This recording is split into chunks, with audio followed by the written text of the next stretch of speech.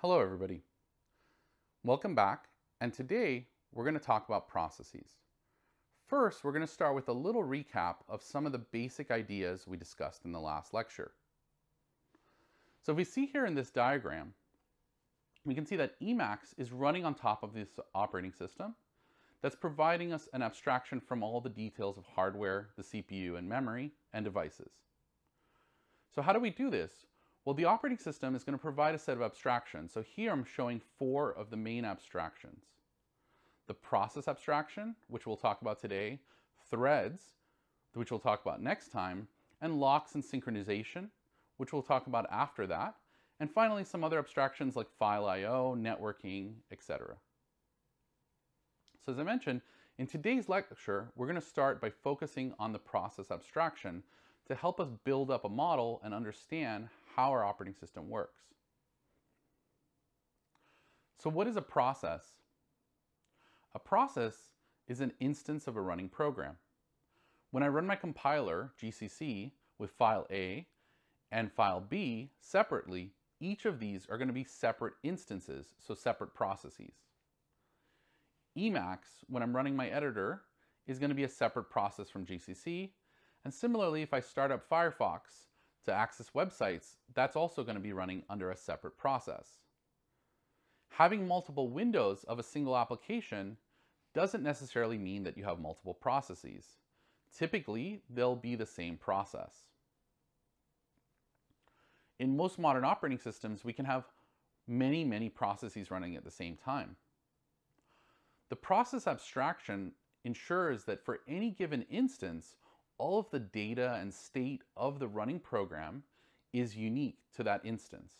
So when I'm compiling file A and file B, I don't have any information about file A and B in the same executable instance, right? When GCC is running compiling file A, it only has to worry about the data from file A, and it gets to use all the global variables and any other state that you've defined in your program locally to that instance. And when a new instance is run, all of that state will be reset. It makes a much simpler model for you as a programmer. And being able to use multiple processes is a way that we can achieve better utilization of the hardware. We could run them on different processors to achieve better throughput and possibly lower latency to completing a task. So here's a simple example. We can see that there's different ways that multiple processes can overlap in execution. I might be running my compiler, GCC, and Emacs at the same time. When Emacs is running, it does some processing, and then when it's waiting for me to do some input, I'll be able to run GCC on the same system. Right? This is what the operating system will do with techniques called scheduling that we'll see later. It'll allow us to run these two processes at the, almost at the same time, or at least what we perceive to be at the same time. So this is going to make better use of the hardware because the hardware is always going to be busy. When Emacs has nothing to do because it's waiting for me to do something, we're going to be doing some compilation or taking care of other tasks in the background. The second is that multiple processes could effectively reduce latency. Normally, if you looked at a really old computer, we'd only run one process at a time. We'd these are called batch processing systems, where we'd run process A, and when process A was complete, we would then run process B. So this means that process B, even though it's a very short-lived process, would have to wait for A to complete. And as you see in this example, A took 80 seconds, and B took 20 seconds, but I'd still have to wait 100 seconds to get the results from my program B. If I'm able to run these two things concurrently, to the user's perspective, I'm going to be able to complete B in a shorter period of time. The process abstraction is really key to a lot of the things that the operating system provides. Right? In this example, we can see that A still took more than 80 seconds. We didn't cheat the system. We only had one processor to execute one task at a time, but we were able to make the perception to the user that each task executes with lower latency. The next important thing is that processes can be used to achieve parallelism. So if you think back to the computers you have, you have many cores on your computer. You have a laptop with anywhere from four to eight cores these days, and each of those cores could be running a different task. So we can place different processes onto different cores to execute in parallel. And this is going to allow us to achieve higher performance, right? So in the example, if we're running four processes at the same time across these four cores, we're going to be able to complete these four processes simultaneously and then run another set of processes. So let's look at how a process views the world.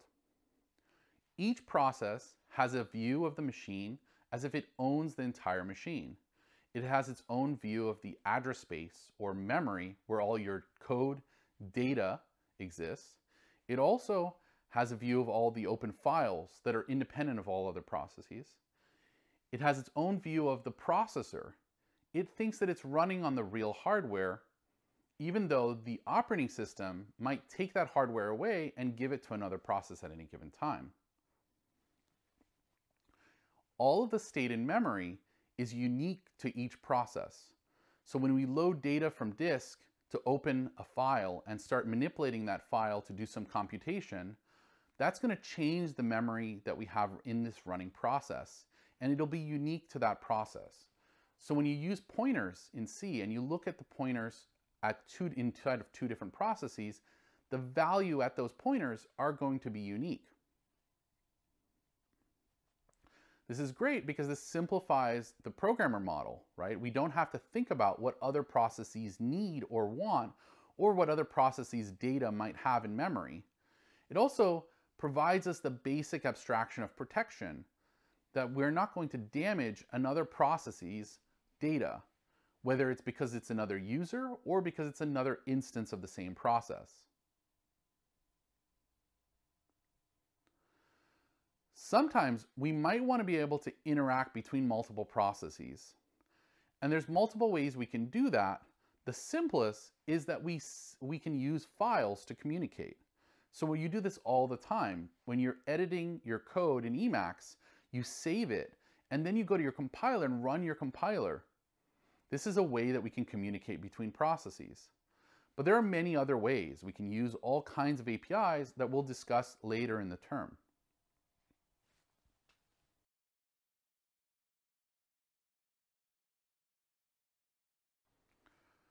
For the rest of the lecture, we're going to break it up into two parts. First, we're going to look at the basic abstraction of the process, we're going to see how to create, kill, and communicate between processes. And we'll try to put this together into the basics of how your shell or command prompt works in your operating system. In the second half, we're going to focus on how does the kernel implement the process abstraction. And we'll only go into a little bit of detail this time just to help build up our abstractions as we keep going. In a couple weeks, we'll come back to this to discuss in further detail how exactly all of the details come together to implement the process.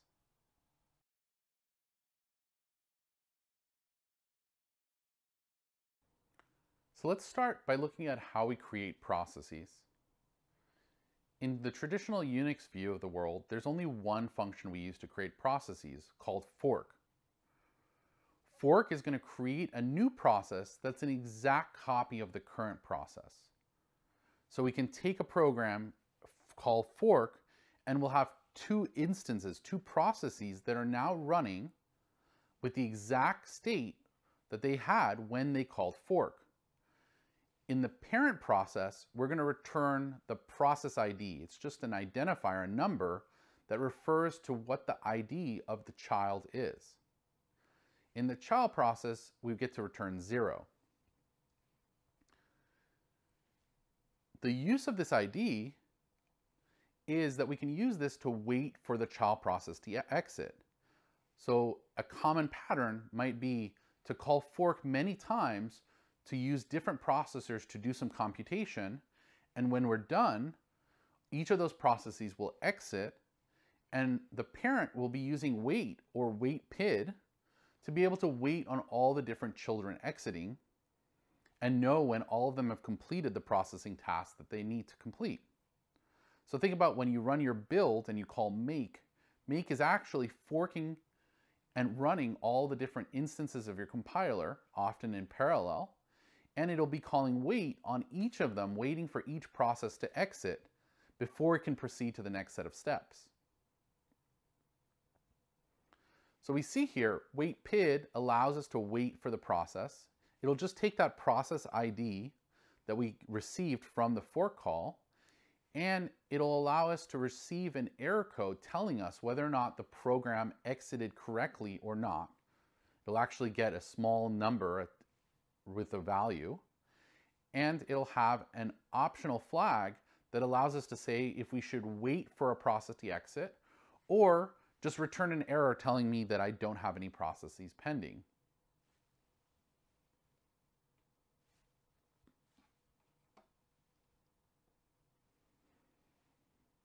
The next basic APIs is how can we kill or delete a process. When a process is behaving normally, the process will call exit. And here you get to see that we get to pass in a status code. This is related to the status code that is received by waitpid. The current process will stop executing and the operating system is going to clean up all of its state. Another way that we could delete or kill a process is by using a function called kill. Kill will send a signal telling the process to exit. And we're not going to go into all the detail of the different types of signals, but the two common ones would be sigterm for terminating a process, but it allows the application to cleanly terminate and exit. It's a way of notifying the application that you want it to exit. Or sigkill, that's a stronger version of this that says to kill the process immediately, and it doesn't allow the application to clean up state.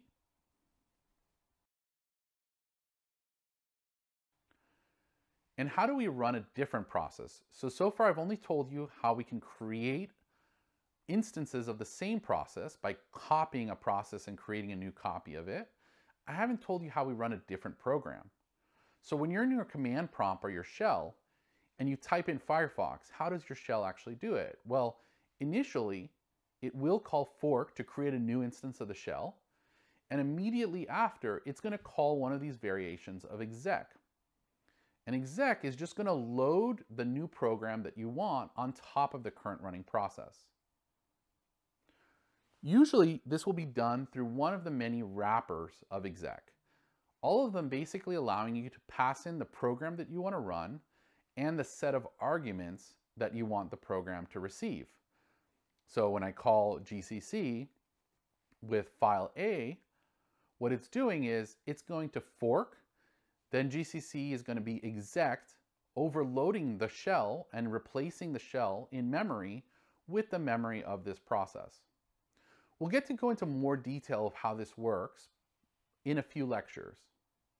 But for now, just assume that exec means we're going to replace the running process.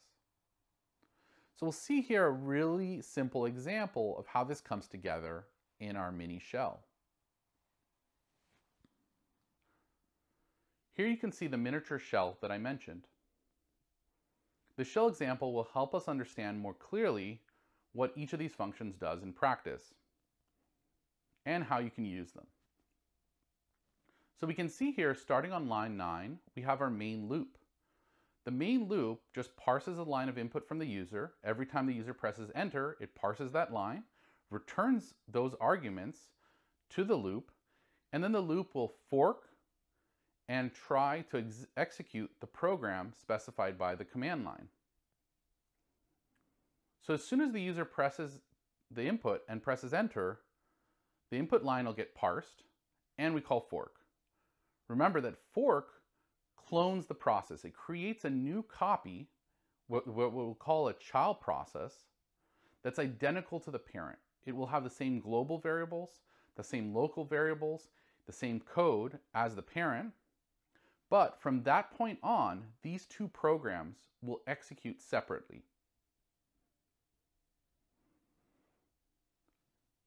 So as soon as fork completes and returns back into both processes, we'll see that we'll receive two different return values. On the parent process, we're going to receive the PID of the child. In this case, the PID is 6. On the child process, we're going to receive a value of 0, specifying that we are the child. Next, the child process is going to execute the doExec function, while the parent is going to call waitpid. Waitpid is another call that we specified that will have the process wait for that particular PID to exit. So the parent is going to go to sleep now and not execute any more code until the child process is completed. The child process, meanwhile, can continue to execute and it's going to call execvp, one of the variants of exec that's going to run whatever the process was specified by the user as input in argument 0. If successful, this is never going to return. This function will replace the entire environment with the new program. If it's not successful, we'll immediately flow into the next command, which is perror, which is going to print the error code that was returned. This is just a nice utility function for printing error codes in most Unix operating systems. And finally, the child will exit with an error value of 1. If successful, the child process gets completely replaced. All of the code and data will be wiped away, and the new program that was specified by the user will be executed starting right in the first line of the main function. The parent, meanwhile, which is still the shell that you're interacting with as a user, is waiting for this process to exit. It still has PID 6, and waitpid will sit there waiting for this process to complete. Once complete, waitpid is going to return, and if you specified a value, waitpid will actually return the exit code that is specified by the program. So exit 0 could be returned to waitpid but we've specified the parameter null, which means we're going to discard the error code. We don't care what happens.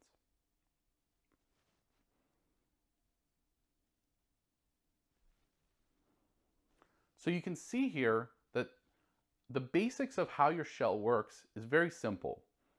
All of the remaining features in your shell are really just combining these things together with other facilities in the Unix operating system and making them easy for you to use as a user. We'll go through one more nice example of a common operation you do in your shell to help you understand more about how the user space works. We haven't had a chance to talk about how files and devices are accessed yet. We will get to that later in the term in more detail. But for today's lecture, let's just recap a little bit of what you might have seen in previous classes. When you open a file in a Unix operating system, that file is represented by a file descriptor. The file descriptor in Unix is simply an integer that represents that device or file. So here we can see we're providing some of the calls that manipulate file descriptors. So we're only going to look at two right now. The first is dup2. Dup2 all it does is it copies the descriptor from one integer to the next. So when you pass in 5 comma 2 into dup2, what it's doing is it's taking the file descriptor that was open at 5 and it's going to copy it over to file descriptor 2. These are going to be identical files. They'll be the same instance, in fact, inside of the operating system. So all operations will propagate from one to the other. The second call that we have is fcntl, which is the file control. And this allows us to set a few special flags. Don't worry too much about this, but the basic flag that we're going to use today is the close on exec flag. So this means that when I execute a new program, typically most of my file descriptors are closed. I can choose to leave certain file descriptors open so that the new program that is executing in place of the shell's binary is able to access those file descriptors.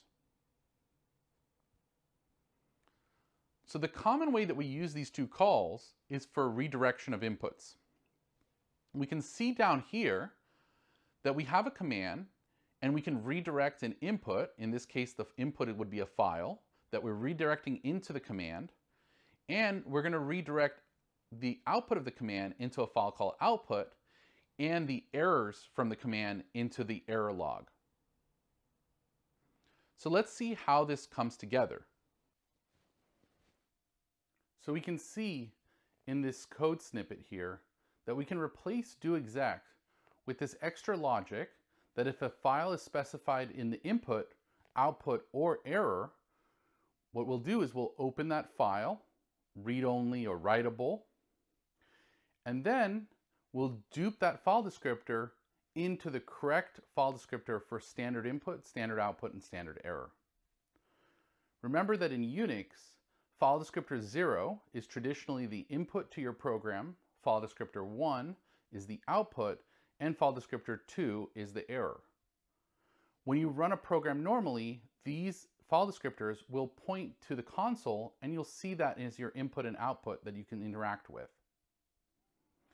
In this example, the shell, all it has to do is if any of these files are redirected, it'll open the file, dupe it into the correct descriptor number, ensure that that descriptor isn't going to be closed, and then execute the program.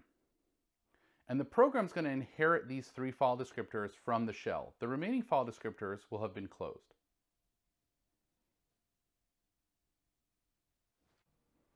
We're going to look at one last primitive that is commonly used in a shell, and that's pipes. Pipes are a basic form of IPC, or inter-process communication. They allow you to wire up multiple processes to communicate. The way that you do this is by using the pipe system call. And this creates a file descriptor, two file descriptors, the first that you can read from, and the second that you can write to. This creates a unidirectional channel for us to communicate from file descriptor in 0 and file descriptor to file descriptor 1. The basic file operations like read, write, and close all work with the, these file descriptors. And when we close one side, we're going to be able to detect that the other side has closed. Or we'll actually send a signal to the process. So a simple example of how you use this in a shell is that you type command 1, pipe command 2, pipe command 3, and so on. And what this is doing is this is communicating from command 1, all of the output of command 1 will be fed into command 2. And we're going to do this again by creating a pipe and using dup2 to copy the file descriptors into the correct standard inputs and standard outputs of each of these processes.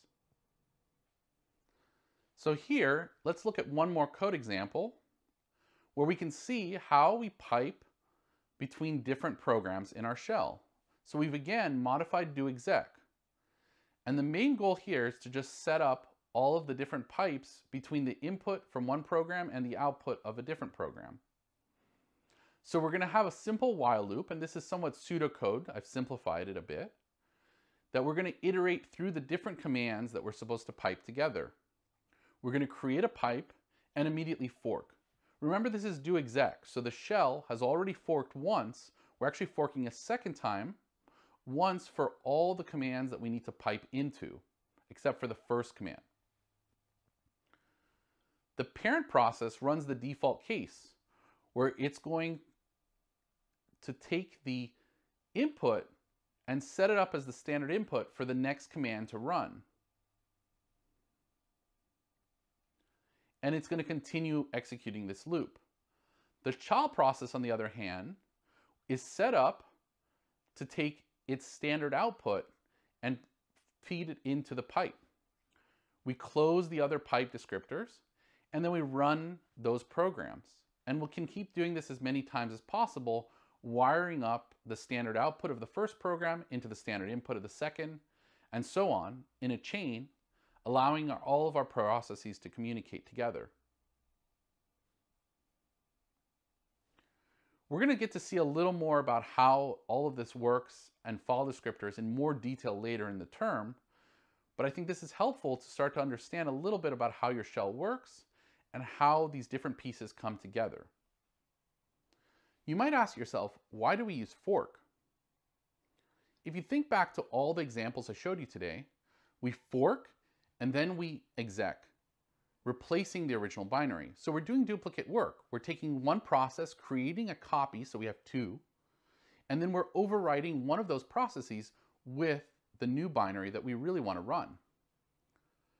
So it turns out that we already have a call called spawn that allows us to do this. This usually isn't implemented as a system call, although it can be. It's often a library call that just calls fork and exec. And the reason is that sometimes it's actually useful to just fork. Some web servers, they fork multiple instances, multiple processes, and each of them is serving clients independently. We also see this with many other tools that need to fork multiple instances for some kind of concurrency to have better throughput and performance. But the real win is really comes down to the Unix philosophy. And it's that the Unix philosophy is that we combine a lot of simple APIs together to have more powerful tools at our disposal. So you can see that all of the commands I described today are relatively simple. They have very few arguments. They don't do a lot of things. They do one task really well. And we combine them together to achieve all the different things you can do with a shell. This is the philosophy behind virtually all Unix primitives. So we can see the alternative here. If we look quick briefly at the Windows API, Windows actually has a single create process, which is really a type of spawn. It has a few different variations that are even worse, but the basic create process passes in tons of arguments to be able to support all the different things you could do, whether you inherit file descriptors, inherit handles, they call them handles in Windows, all the different flags, the environment, what directory you're running in, all these security attributes, process and thread attributes, all of this has to be specified in a single complicated command that does everything at once.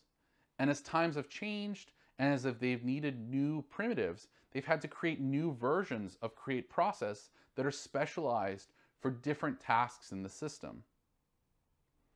This is the elegance of the Unix philosophy, is that all of this is achieved simply by combining simpler system calls together.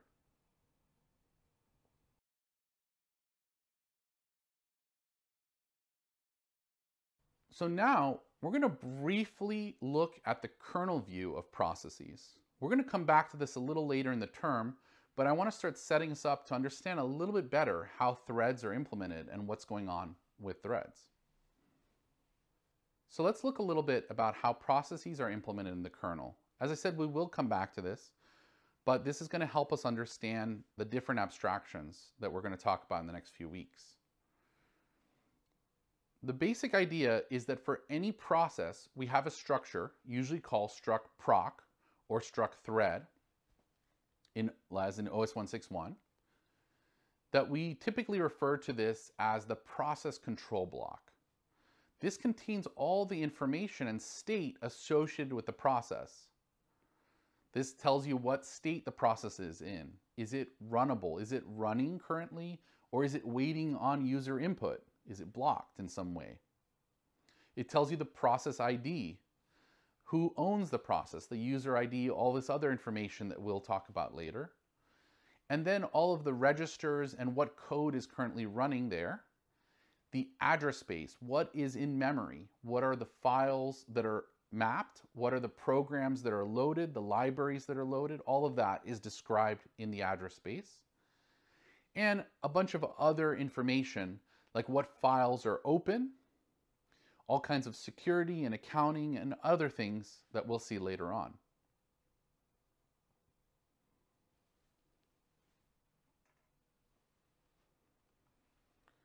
The operating system at any given time will have the program executing in one of several states. The process will either be a, a new or terminated state where it's starting or ending its life. It's in a running state where it's executing currently, or it's in a ready state where it could be run at any point. And finally, it's in some kind of waiting or block state when it's waiting for I.O. or for something else to complete. So when you call wait PID, for example, you're in the waiting state. You're waiting for another process, the child process, to exit. The kernel, simply what it's going to do is it has a list of all of the tasks that it can run, and it's going to run any process that's in the ready state. So it'll scan over all of the programs that are currently runnable, right, or in the ready state, and then run them. So to us, it seems like a lot of programs are running in our system at the same time. What's happening is the operating system is really just switching between all of these different programs very rapidly. The only parallelism it gets is when hardware has multiple cores or CPUs so that it can run these things in parallel.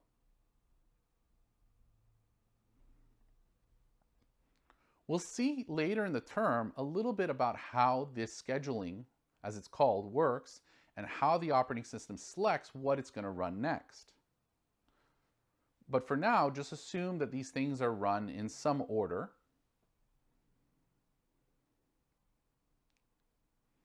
The second thing that we should understand is this basic idea of preemption. That a process can be preempted by the kernel. Typically, in most operating systems, they are preemptible operating systems. When your program is running, it might be compute bound, it might be running a computation. The operating system will forcefully take the CPU away from the program with the help of hardware and then start allowing other programs to run for a period of time. There are multiple ways this can happen. One is the program might make a system call. It does a function call into the kernel and the kernel decides that it should put the process to sleep and allow another process to run. The second is a periodic timer interrupt where we use the hardware to poke at the kernel periodically and tell the kernel, hey, you should run something else now. And when we get further along and start talking about scheduling and devices, we'll get to see how that exactly works. The third is usually through general device interrupts. Any device I.O. happens, maybe you press keystrokes on the keyboard and one of the programs was waiting on your keyboard keystrokes we might pause the current program and allow that program to run. Some OSs do this actively to make them very responsive to the user input. The way that we do this is through this basic idea that we'll come back to again later in term of called a context switch, where we take a program, we save the current program that's running, and we're going to switch to the new program that we want to run.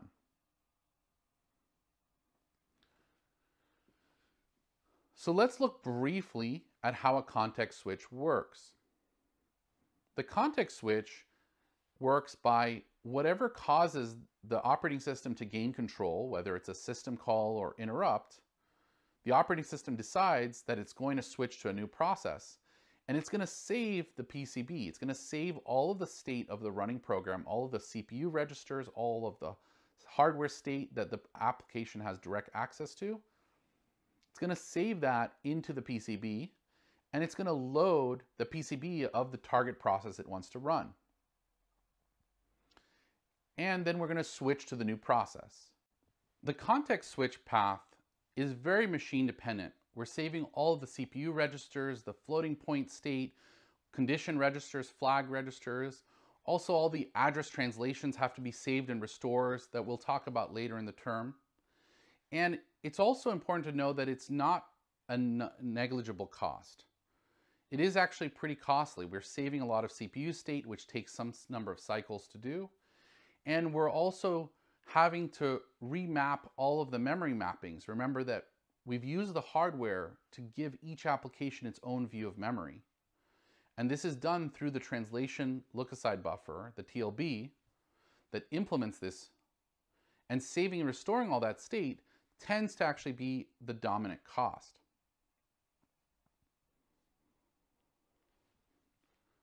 So in subsequent lectures, we're going to get to go into see these things in more detail. But for the next few weeks, we're going to focus on talking about threads, which are a simpler abstraction built into processes, and then look at concurrency and how we can make our programs fast and scale. to many cores and CPUs.